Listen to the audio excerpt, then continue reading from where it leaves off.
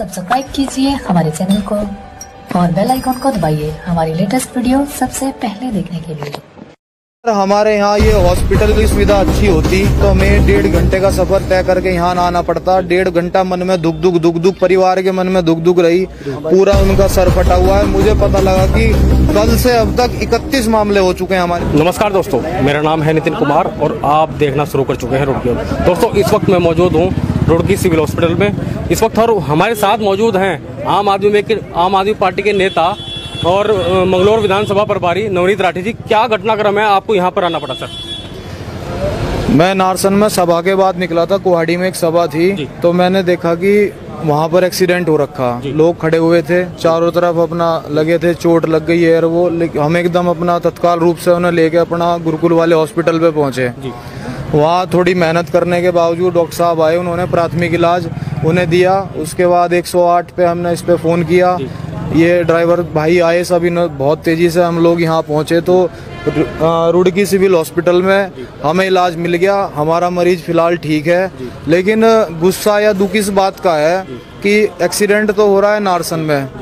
ये घटनाएँ रोज की और हमेशा की हैं। इतने सालों से हमारे क्षेत्र को बढ़िया हॉस्पिटल और सुविधाओं की ज़रूरत है। लेकिन जो वहाँ पर आदमी खड़े थे इतने सारे लोग खड़े थे उन्होंने कोई जहमत नहीं उठाई कि इन्हें हॉस्पिटल पहुँचा दिया जाए? ये तो जी सबके अपने अपने विचार और ये सब अपने अपने वो होते हैं कि कोई आदमी किसी की जान बचाना चाहता है कोई देखना चाहता है कि क्या हो रहा है क्या नहीं हो रहा।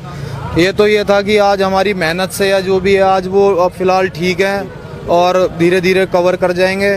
तो उससे सुकून तो हमारे मन को मिलेगा उन्हें मिलेगा। जिसकी मंगलौर विधानसभा क्षेत्र में क्या इतनी सुविधाएँ नहीं है कि इन्हें वहाँ पर हॉस्पिटल में ले जाए भाई जी यही हमारी मांग है कि हमारे क्षेत्र में बढ़िया हॉस्पिटल हो बढ़िया शिक्षा हो बढ़िया रोज़गार हो। मैं यही काजी से पूछना चाह रहा हूँ कि काजी जी आपने करा क्या है? अगर आप हॉस्पिटल वहाँ हॉस्पिटल बना हुआ है कमरे बने हुए हैं उसे खंडर बना के रख रखा है स्टाफ पूरा नहीं है डिलीवरी ढंग से नहीं होती छुट्टी डिलीवरी जब होती है तो तीन से चार दिन में इलाज छुट्टी होनी चाहिए वहाँ डेढ़ घंटे में घर भेज देते हैं। जिन जिनको चोट लगी है जिनका एक्सीडेंट हुआ दुर्घटना में उनको चोट लगी है उन्हें जानते हैं आप?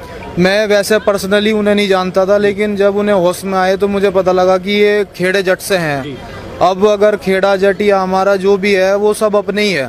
तो एकदम वहाँ से हम लोग भागे और घर पे मैंने किसी के माध्यम से इत्तला करी कि खेड़े में मैं कहा ऐसे ऐसे चोट लग गई है और उनके घर तक बात पहुँच जाए तो एकदम से पूरा परिवार सब यहाँ आ गया। परिचित यहाँ पहुँच गए सर? हाँ जी। अ, क्या कुछ कह- कहना चाहेंगे कि उनको कितनी चोट लगी है और आज नवनीत राठी जी ने यहाँ पर पहुँचा है क्या देखिए जी चोट तो बहुत काफ़ी लगी है और नवनीत भाई का बहुत बड़ा एहसान है हमारे पर कि उन्होंने टाइम से उन्हें उठा लिया वहाँ पे जनता बहुत थी और उन्होंने किसी के माध्यम से हमें कॉल करी और हमें पता लगा और जब तक हम गुरुकुल भी नहीं पहुँचे थे नवनीत भाई इतनी तेज़ी से उन्हें लेके रुड़की पहुँच गए थे।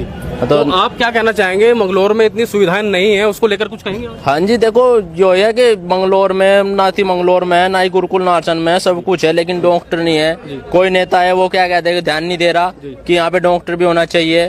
पिछले बहुत सालों से लेकिन हाँ नवनीत भाई से उम्मीद है कि ये आगे आवेंगे तो ऐसा कुछ करेंगे कि जिसके लिए हमें यहाँ तक इतनी दूर तक परेशान ना होना पड़े। हमारे पेशेंट को वहीं पे टाइम मिल पे ट्रीटमेंट मिल जाता तो अब फ़िलहाल बेटर है लेकिन इससे भी ज़्यादा बेटर होते हैं। ठीक है। नवनीत राठी जी ने यहाँ पर मानवता का परिचय दिया है और ये कहा है कि अगर किसी किसी को भी चोट लग जाए उसे हॉस्पिटल तक ज़रूर पहुँचाए।